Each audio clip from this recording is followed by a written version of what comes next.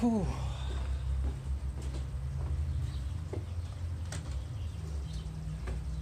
Alright, guys.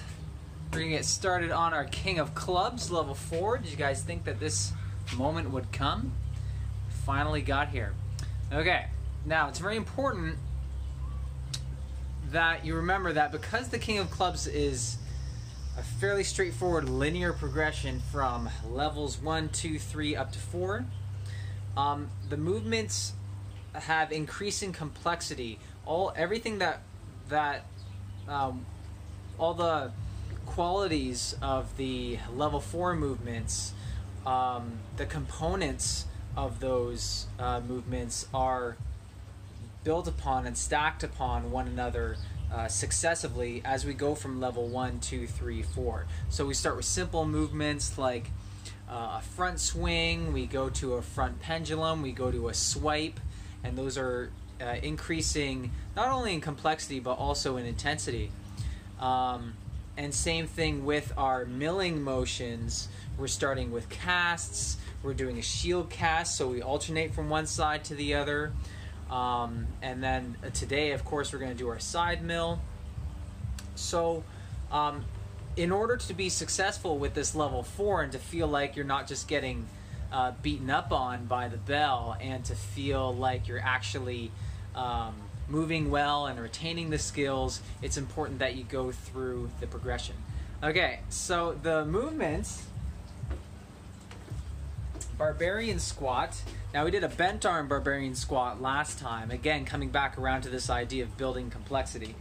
And the barbarian squat today, we're going to emphasize a, a very tricep focused, that tricep's got to be kicked on super tight, uh, straight arm lock for our barbarian squat.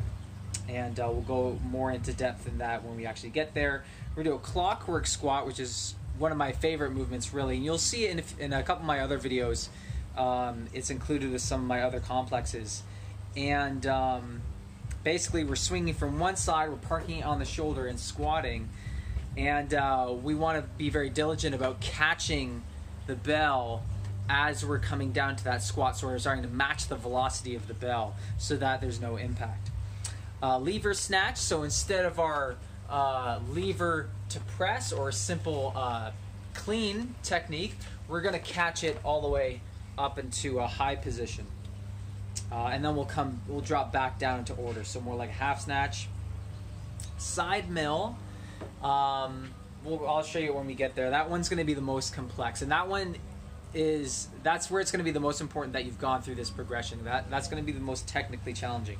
And then the front swipe, which is going to be a swing into an overhead cast with no stopping in order. But we also want to make sure that that line of ascent is not down the middle, it's to the side, right? We always go down the side for that cast.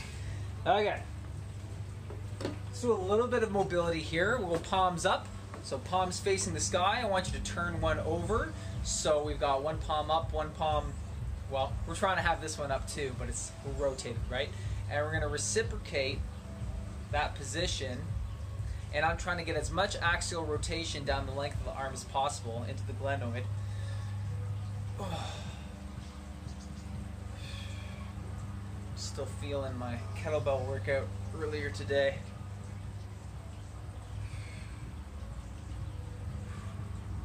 Hell, I'm feeling the workout from Saturday.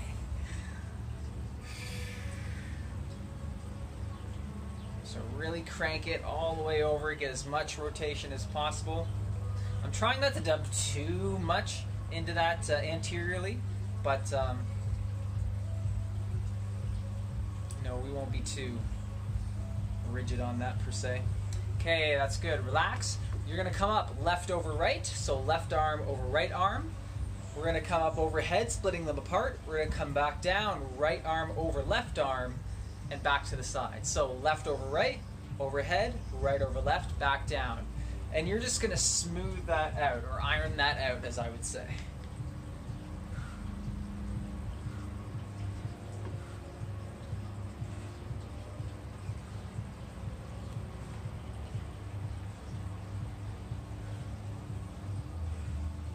Match your breathing to these movements. Okay, we're going to reverse the order. So we're going to come up right over left, split apart, left over right, back down. And this creates sort of like a figure eight pattern.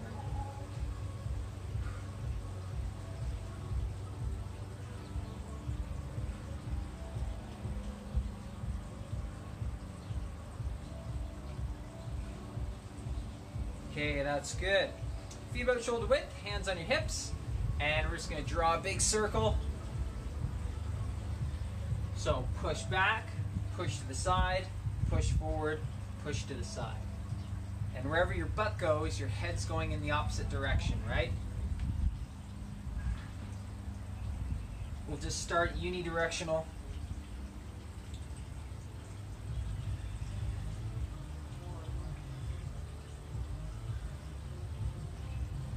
And switch directions.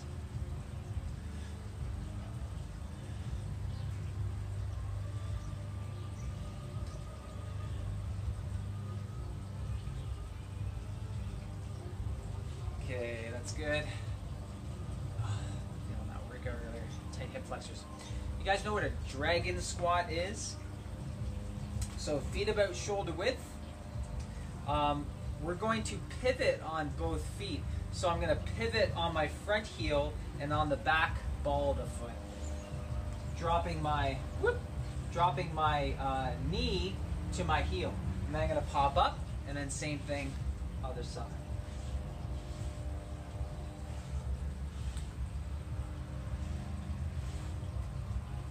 So again, heel and toe, or ball of the foot.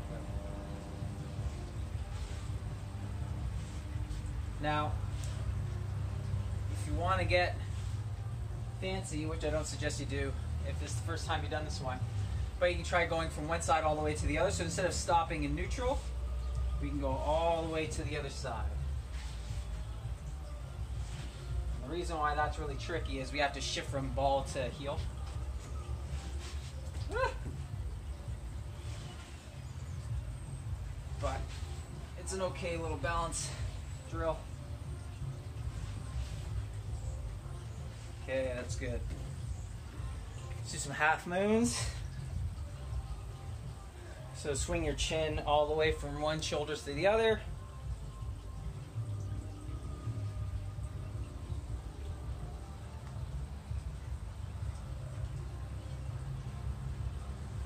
Okay, that's good. All right, so you know the drill 90 seconds per movement. We have 30 seconds of rest in between movements. We're gonna cycle through twice.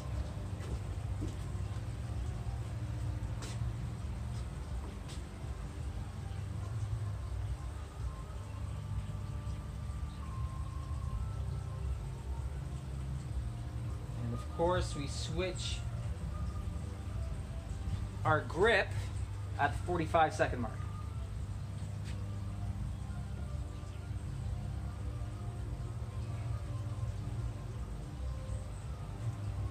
Okay, starting in 10 seconds.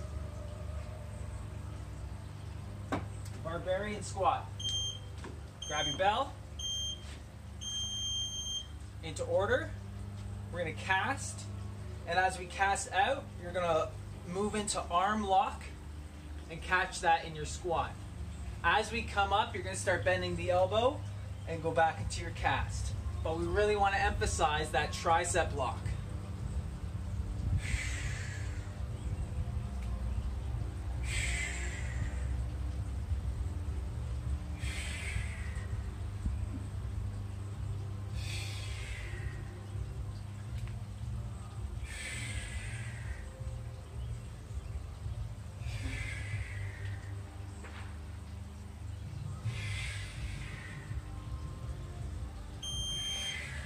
Switch our grip.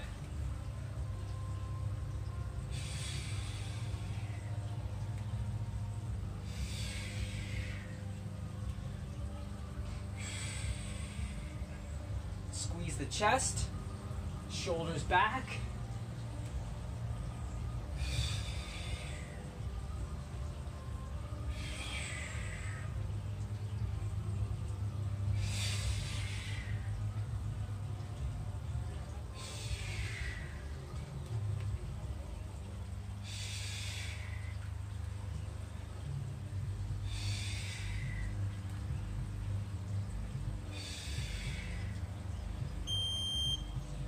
That's good. Your rest of 30. Clockwork squat. So, we're to swing to the side. And we're to catch the barrel, so the fat end above the cone, on the trap. Not the clavicle, not the bone here, from mid chest to shoulder, not that guy, on the meaty part. Okay? So you got to lift that handle up a little bit. So, we're to catch, descend, we're to, we're to pull in, arm lock out to the other side, catch, and squat.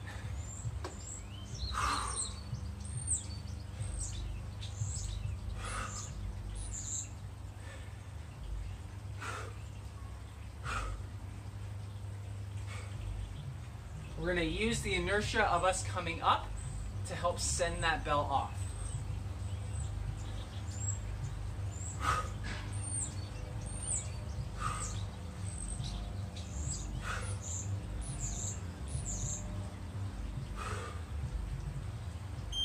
Switch your grip.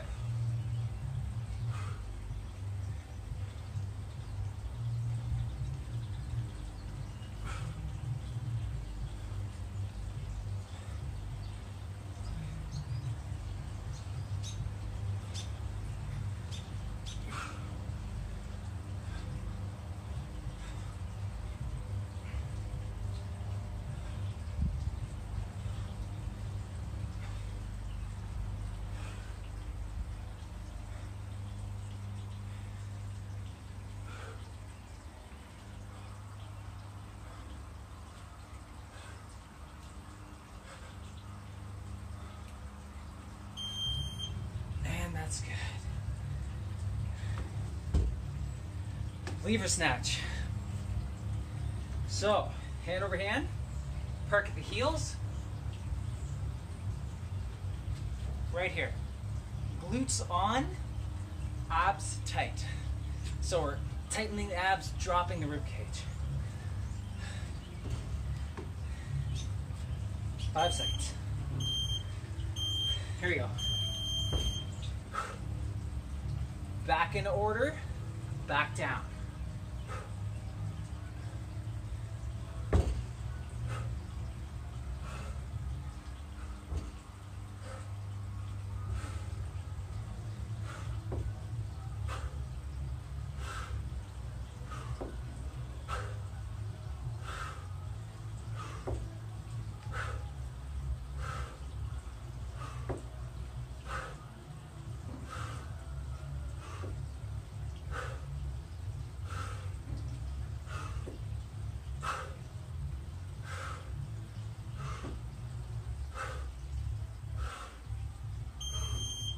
Switch your grip.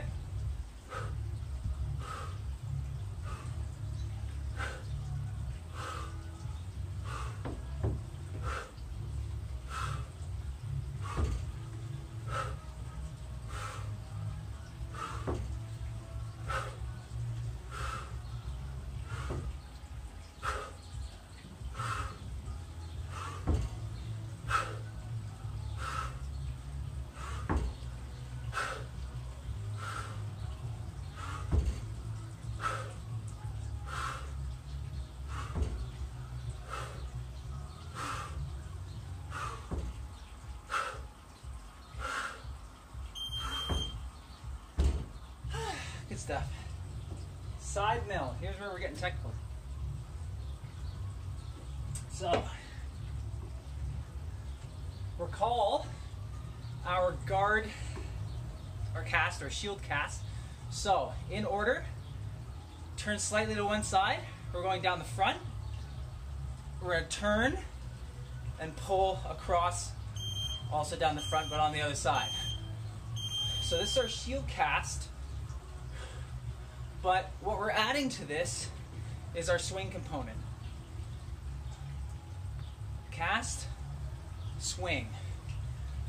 Cast, swing. But ideally, we want to take that inertia into the cast.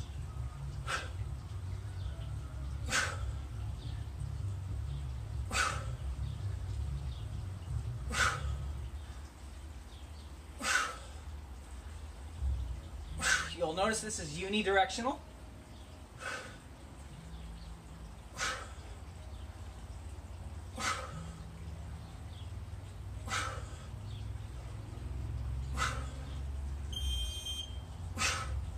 Opposite side.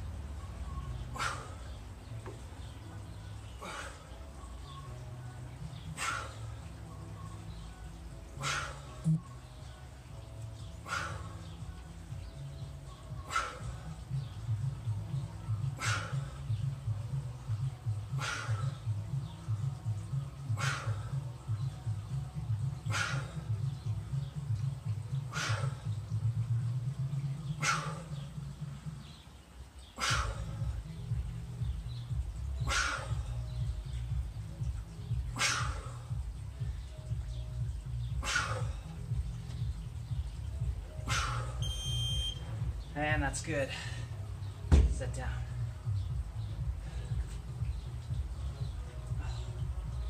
Okay, last movement, front swipe.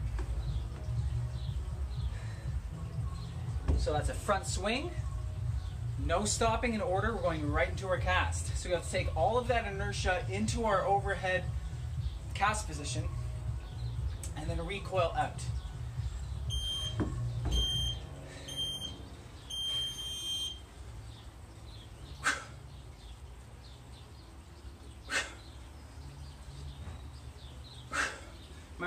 Of ascent is to the ear, not over the head. We want to hit elbow lock right here as we enter the swing. So arms straight.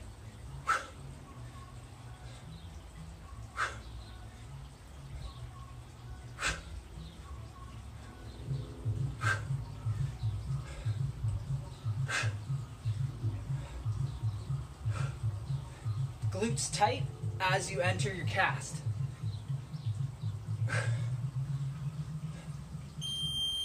Switch grip.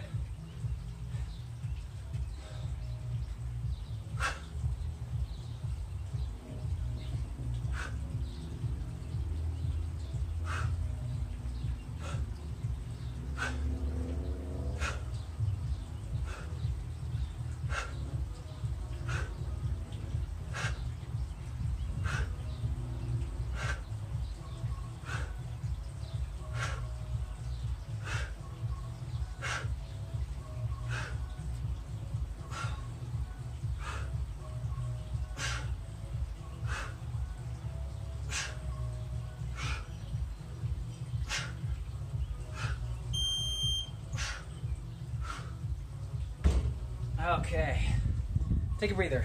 Chalk your hands.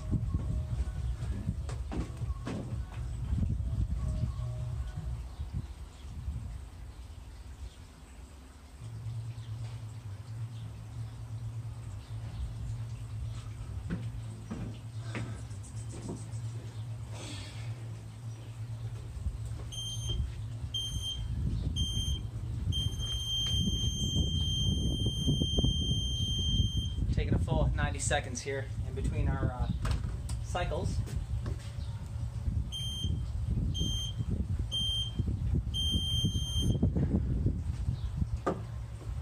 So, those of you following along, feel free to comment as to what you think is the most challenging part of each movement, or if you have any specific questions about each movement. Maybe you might be looking for a tip here or there, depending on what your strengths and weaknesses are outside of just the grip.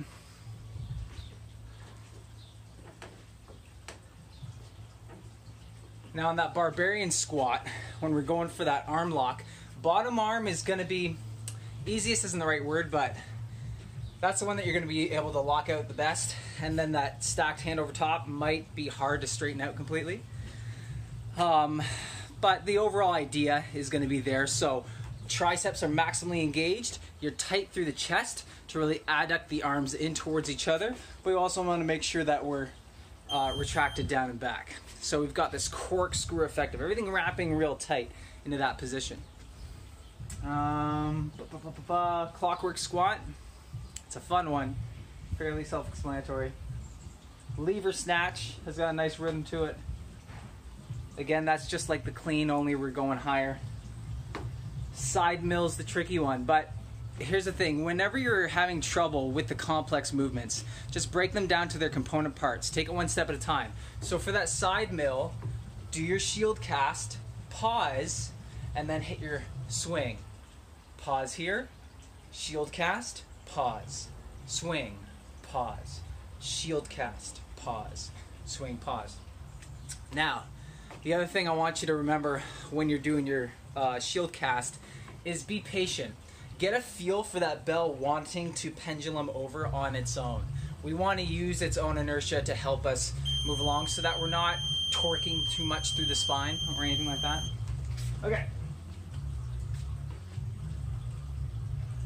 Here we go, 10 seconds.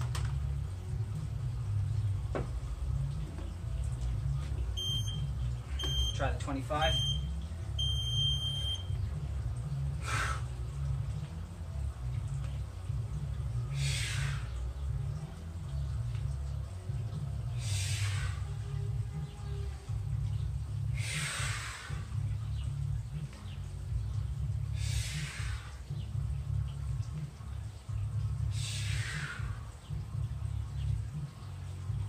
Don't hold it any than is necessary. We're just looking for that flag position. Okay?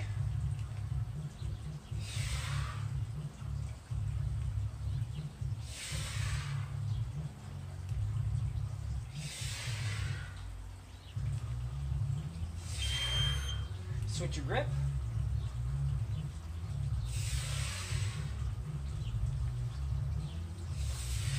Tight chest.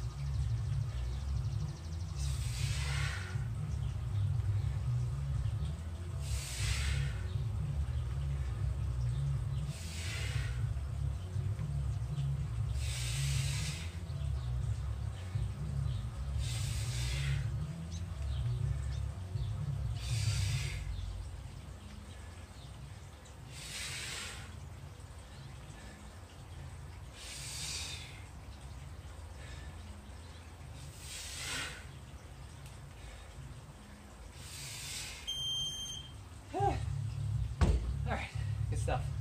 Clockwork squat is coming up. One of my favorites. Got a nice flow to it. And you really bang out the reps.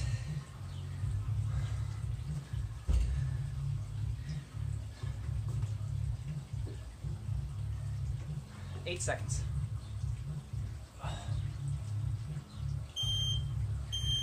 Okay, hand over hand.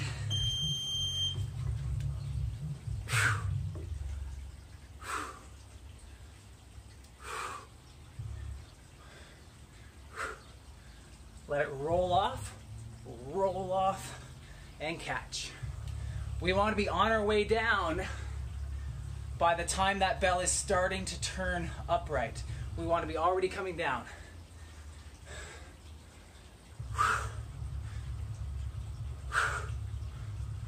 Don't let the uh, hands get too far away from the body. Keep them close to the hip and let it swing upright.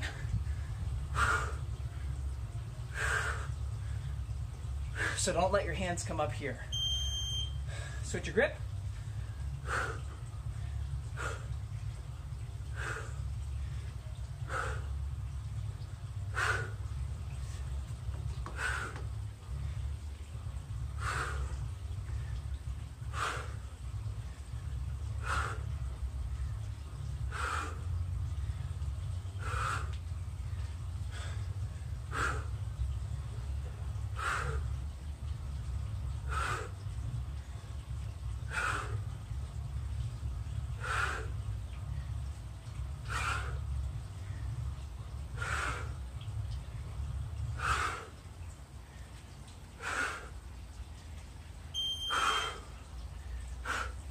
That's good. Moving on to lever snatch.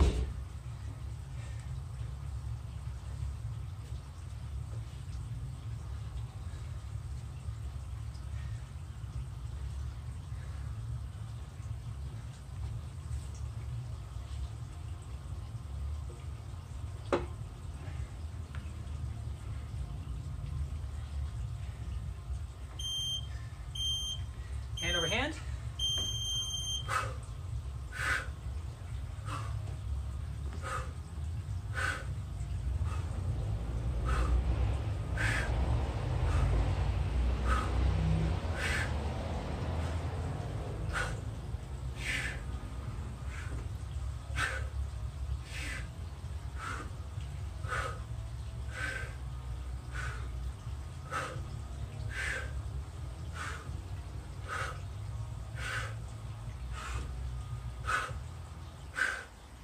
Punch through with that handle to lock into your uh, flag position.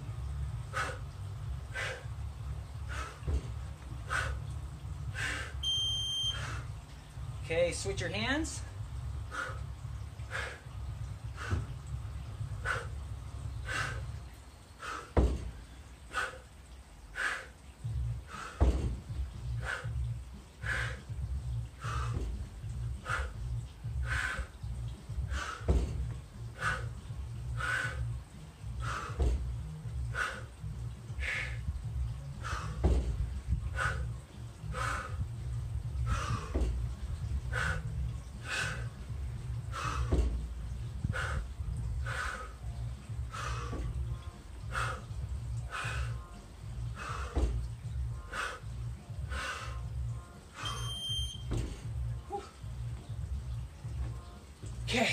Moving on to our side mill. So remember, if you get stuck, lost, or otherwise discombobulated, break it down. Shield cast, pause. Swing, pause. Shield cast, pause. Swing, pause. Let the motion of the bell help guide you. Don't lead it. Let it start swinging. Okay. So turn to one hip, shield cast, swing, pause, shield cast, pause, swing, pause, shield cast, pause, swing, pause. And then if possible, take it right into the cast.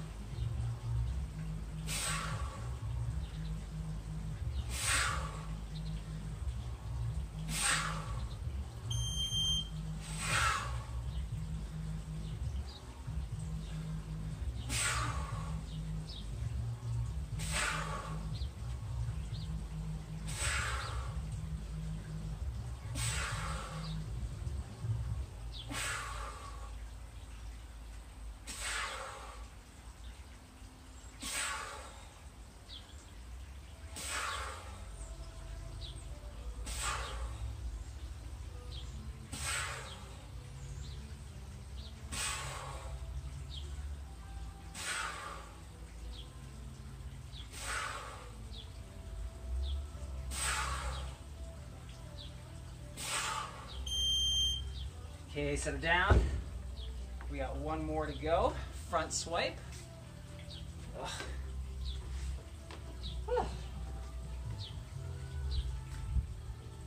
Hope that grip is still holding in. Make sure you chalk up.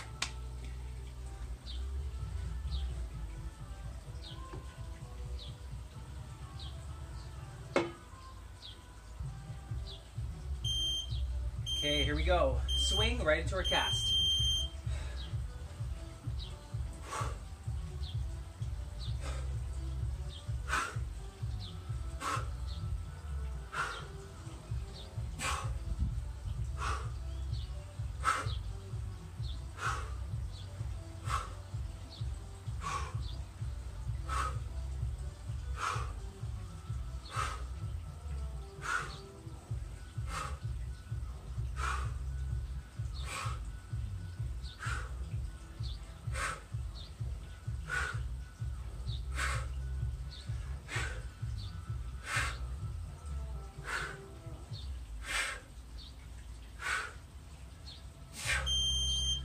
Switch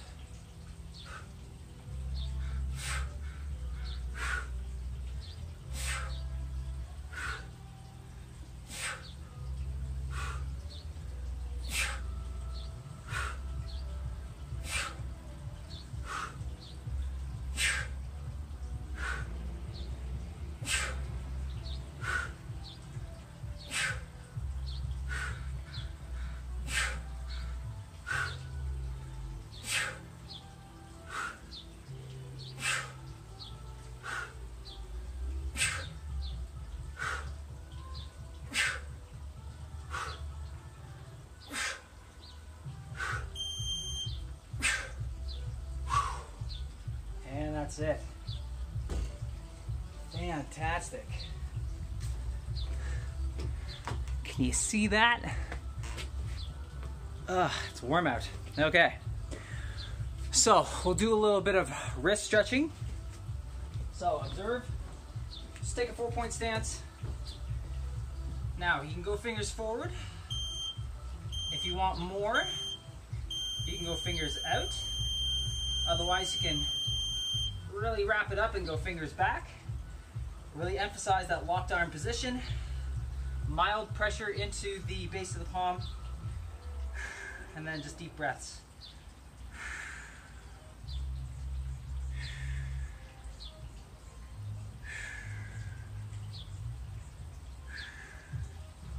We'll do some cat camels here. So we're gonna alternate our spinal position.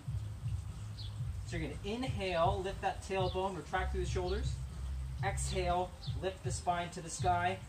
Um, contract through your uh, lower abdominals, drawing that pelvis in, and roll the shoulders forward. Inhale, exhale. Inhale, exhale. Inhale, exhale. Inhale, exhale. Inhale, exhale. That's good. Arm across. Make sure you're keeping your shoulders back as you hit this classic shoulder stretch. Because if you take your scapula with you, then you're not really stretching the shoulder. If you're trying to stretch your rhomboid or something, I suppose that's fine, but okay, switch. But shoulder back.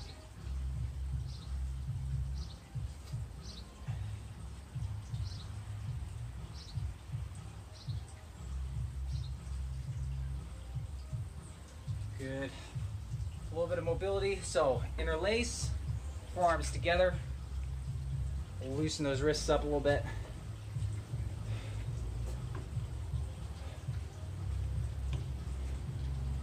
This is creating an optical illusion.